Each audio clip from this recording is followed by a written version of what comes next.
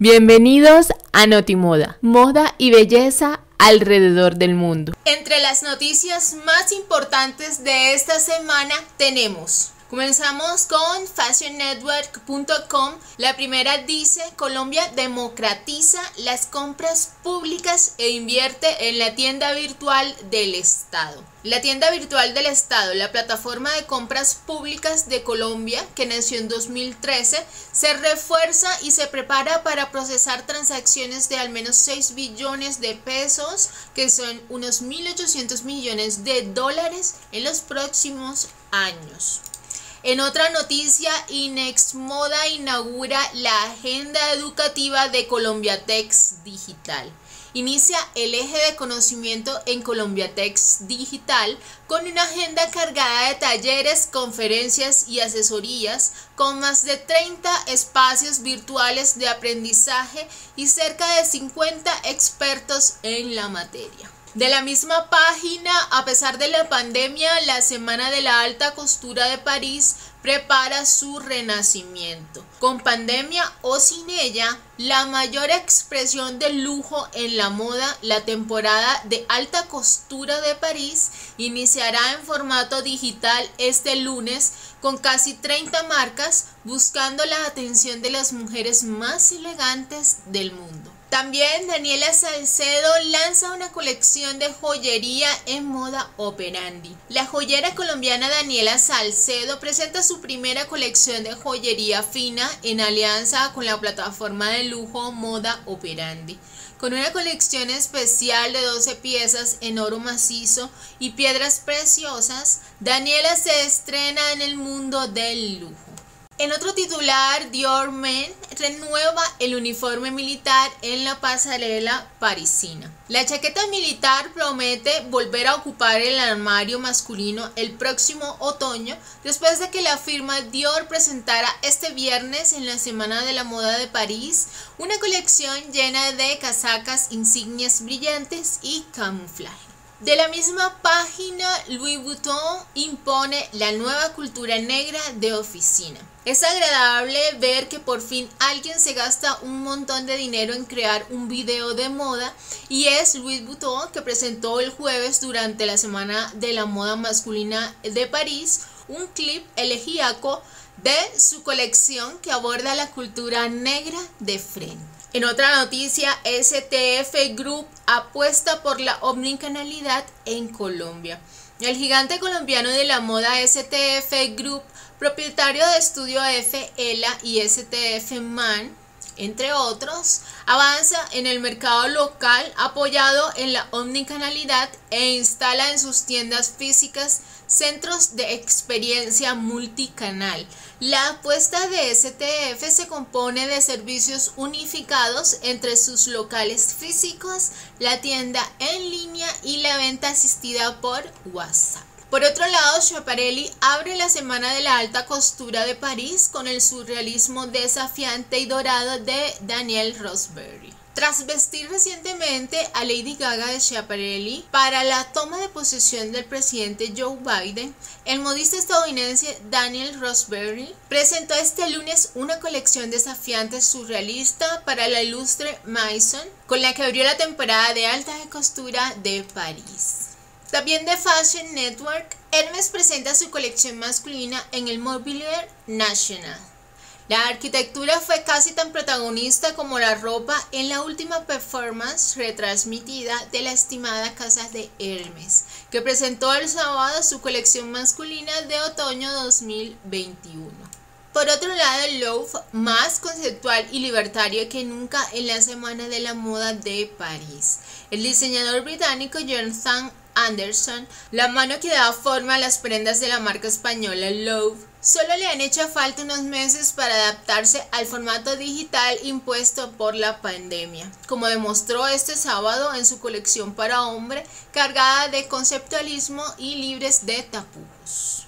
También tenemos una cita de Pascal Morand de FHCM. La moda virtual es un paréntesis La pandemia de COVID-19 ha confinado la moda al Internet, pero esto es solo un paréntesis. Según Pascal Morant, presidente ejecutivo de la Federación de la Alta Costura y la Moda y creyente en el futuro de las Fashion Weeks en París. Continuando con Fashion Network, Inex Moda anuncia a los cuatro finalistas del Fashion Trust Arabia.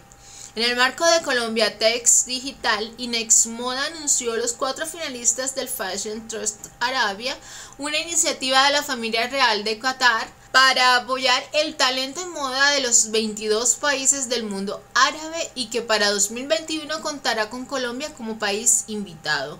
Al lado, la firma de Andrés Restrepo y Alejandro González, a New Cross de Nicolás Rivero, Laura Lawrence y Priac de Juanita García fueron los finalistas seleccionados. En otra noticia, todo lo que queda en familia en el desfile de alta costura de Chanel. Chanel presentó el martes su último desfile de alta costura ante apenas media docena de invitados, mostrando una colección en la que uno podría imaginar a Coco Chanel luciendo cada uno de los looks. Continuando con la misma página, Valentino Couture, la alta costura en la era de la inteligencia artificial.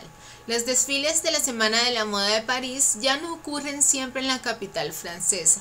Debido a la pandemia, ahora las temporadas se dan de forma 100% virtual y los desfiles de forma físico y digital incluso pueden ser en otro país o en otro continente. En otro titular, HM Studios se une a la Semana de la Moda de Copenhague para un desfile digital.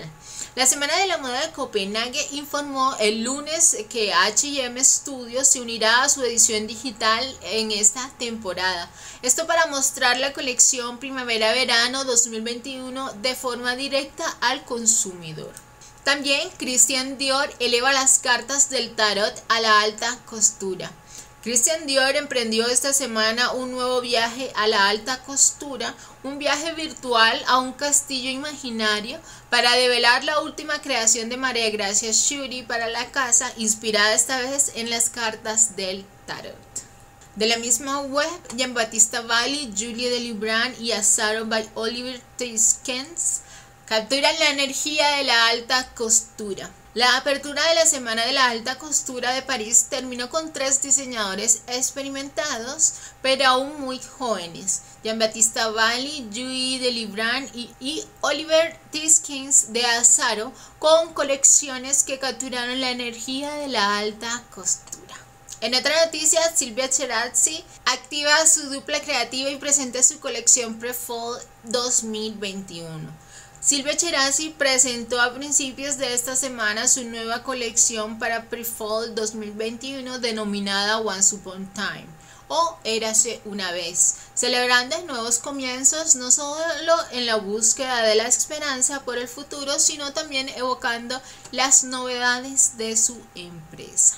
En otro titular, Albert Elbaz estrena su nueva firma de moda democrática AZ Factory Albert Elbaz presentó el martes su nueva marca AZ Factory en la temporada de alta costura de París, marcando un cambio dinámico en el rumbo de uno de los diseñadores más influyentes de la moda. La colección era fácilmente reconocible como obra de Elbaz famoso por su sofisticación a la hora del cóctel, sus drapeados superlativos y su capacidad para realzar la belleza femenina con un acabado exótico y artístico.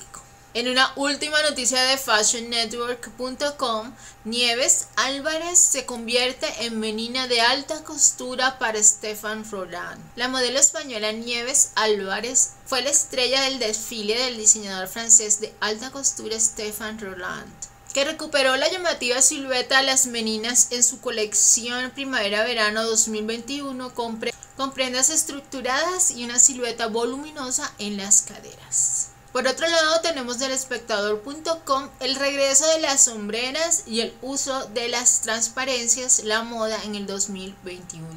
Para este 2021 hay una renovación de las paletas de colores, una inclusión de la década de los años 70, el regreso de las sombreras y el uso de transparencias, Estas serán algunas de las opciones que tendrán los consumidores para vestirse este año. Por otro lado, de diariolibre.com, estas son las tendencias en moda para el 2021. Las grandes marcas ya presentaron las tendencias en moda para el verano 2021 y este artículo habla un poco sobre ellas. Así pues, tenemos los vestidos sueltos en colores nude, tendencias minimalistas, short cortons o hot pants, entre otros estilos. Pasamos al clarín.com con el titular Moda 2021, amarillo, el color que se impone, un tono que reafirma su espacio en todos los estilos. Cada año la empresa norteamericana Pantone Predice cuál será el color que reinará en diversos terrenos de la moda, el maquillaje o la decoración. No es casualidad que a fines de diciembre la compañía haya designado al amarillo brillante como el tono estrella del 2021. También tenemos de belleza de diario.com 10 trucos de belleza infalibles que mejorarán tu piel. Exfoliar la piel, lavar las brochas o evitar las toallitas desmaquillantes son algunos de los trucos de belleza que mejorarán tu piel. Y en una última noticia del día de belleza tenemos, estas son las 5 tendencias de belleza que se demandarán en la nueva normalidad, esto de la república.co. El mundo digital está dejando estragos en la salud física. La piel y los ojos son los más afectados, por lo que su cuidado será primordial. Así podríamos tener un nuevo campo de la salud que buscará responder a las infecciones, a la sequedad e irritación causada por los ingredientes tóxicos del maquillaje y los contaminantes diarios, así también los problemas oculares que genera el flujo de aire adicional sobre los ojos creado por el uso de mascarillas. Hasta aquí las noticias de hoy. Los esperamos en nuestra siguiente entrega de noticias sobre moda y belleza. Te invitamos a conocer nuestra web www.stylepoint.club para toda la información de moda, belleza y asesoría de imagen. Y suscríbete a nuestras redes sociales para inspirarte con fotos, gráficos, videos y mucho más. StylePoint.club, un punto de encuentro entre la moda y la belleza.